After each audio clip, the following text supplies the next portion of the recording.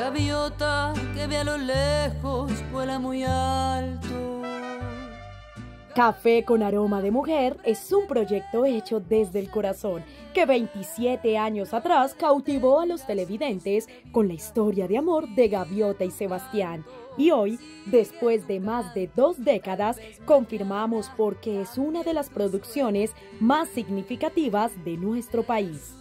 Café nos regaló los mejores aromas, hermosos paisajes, buena música y el trabajo de un equipo maravilloso. Te invitamos a ver este detrás de cámaras. Así fue como se grabó una de las escenas finales de esta novela, donde Sebastián y Gaviota le presentan a su hijo Fernando el resultado de un arduo trabajo y compromiso, sus tierras cafeteras. Su alma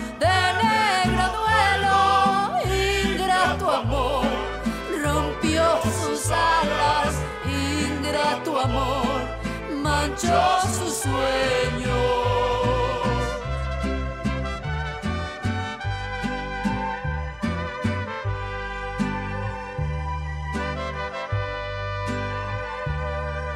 Un día a esa gaviota yo vi pasar,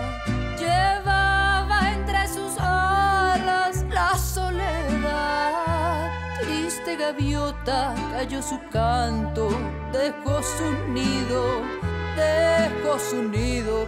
Triste gaviota, te vi pasar.